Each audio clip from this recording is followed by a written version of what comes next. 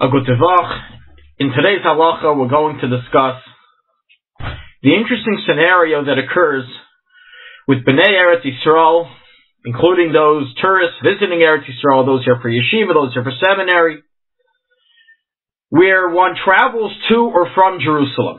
The traveling to or from Jerusalem, as we know, keeps, keeps a different day of Purim than the rest of the world. In Yerushalayim, they keep Purim on the 15th with this, which in this year is on Thursday night, Friday, while in the rest of the world we keep Purim on Wednesday night, Thursday, Yudalot. So in this interesting scenario of travel, it could happen that one becomes halachically obligated to keep two days of Purim, the 14th and the 15th. It could happen that if a person's not careful, he actually circumvents Purim and loses an obligation of either the 14th or the 15th.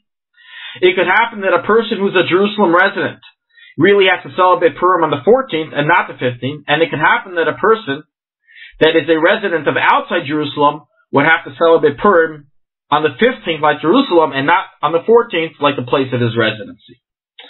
So we're going to explain and elaborate and clarify which cases enter a person into these issues. The most common case we'll discuss with those outside of Jerusalem. Those outside of Jerusalem that celebrate Purim on the 14th and remained in their cities on the 14th and celebrated Purim, heard Megillah, etc., and then decided to travel on the 14th, just as on, meaning this Thursday, they decided to travel to Yerushalayim in order to also benefit from the Purim celebration in Jerusalem that will be occurring Thursday night.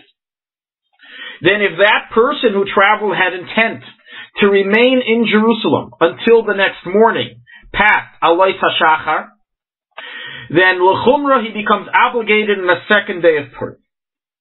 Which means that he should fulfill all the mitzvahs of Purim, Kriyas Megillah, Matanas Lavieinu, Mishloach Manes, Su'udas Purim, Adelo Yoda, Al Hanisim in, in, in Shemon and benching. Once again, a second time, with exception to brachas over Megillah reading. Since it's a machlekes, one does not say a bracha over the Megillah reading. However, he's obligated l'chumer to keep a second day of Purim in Jerusalem. This applies for both men and women. So this is someone that traveled on Thursday with intent to remain there until fr- after Friday morning, past the lights. If, however, this individual was just traveling for the night and planned on being back home in his Yudala town outside of Jerusalem before morning, then he was not obligated at all to celebrate once again the mitzvahs on the 15th. In the case that this individual decided to travel to Jerusalem, not on Thursday, the 14th, but before then, such as the 13th or the night of the 14th, in a case that he was already in Jerusalem by daybreak of the 14th, meaning practically traveled Wednesday or Wednesday night, and he was in Jerusalem when Thursday morning, then if his intentions were to remain in Jerusalem until Alois of the 15th, which is meaning until Friday morning he plans to stay in Jerusalem, then he becomes like a Jerusalemite and only celebrates Purim on the 15th. If, however, this individual intends on leaving Jerusalem before Friday morning, then he's obligated to celebrate Purim on the 14th, even while he's still in Jerusalem. And therefore, he would have to hear Megillah, find the Megillah reading on the 14th in Yerushalayim, and fulfill all the mitzvahs on the 14th. Now let's deal with the opposite case. A Jerusalem resident that is traveling to celebrate Purim on Wednesday night on the 14th, because in Jerusalem it's not yet Purim. He has to wait another day till Thursday night, till the 15th. So many Jerusalemites travel on Wednesday, Wednesday afternoon, Wednesday night, the 14th, to Purim parties. If this individual that traveled had intent to remain outside Jerusalem for his party, past the Leis HaShachar of Thursday morning, which is the 14th, then he actually becomes obligated in Purim on the 14th, even though he is a Jerusalem resident.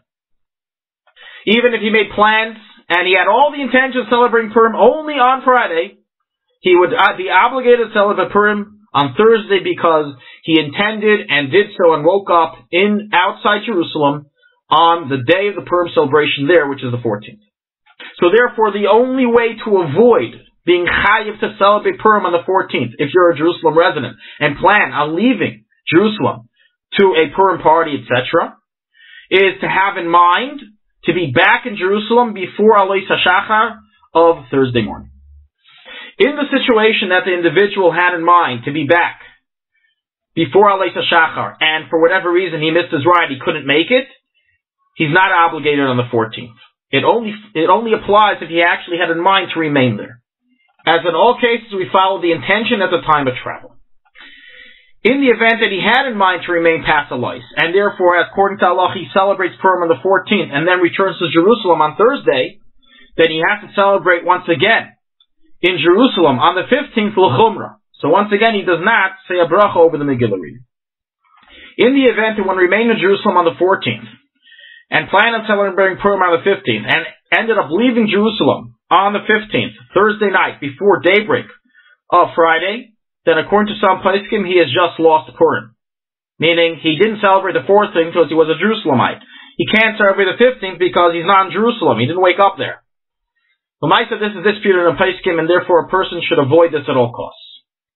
In the event that one is celebrating the second day, L'chumra, he may not read the Megillah with a bracha for other people. Therefore, those that became obligated in celebrating Purim on the 14th outside of Jerusalem, whether they are an out of Jerusalem resident or whether they are Jerusalem resident that travel with intent to remain there past the morning, then when they're in Jerusalem, they cannot read for other people with a bracha.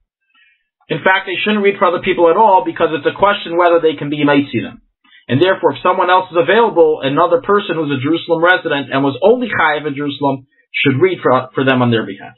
The same applies in the opposite case, the one who's celebrating Purim on the 15th and he's a Jerusalem resident, he cannot read Megillah Lechatchila for others that are celebrating on the 14th.